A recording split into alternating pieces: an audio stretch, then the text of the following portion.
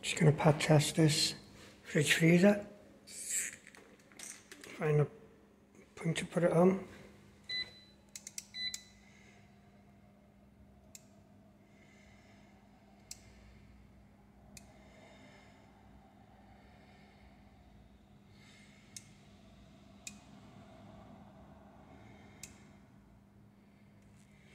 Passed.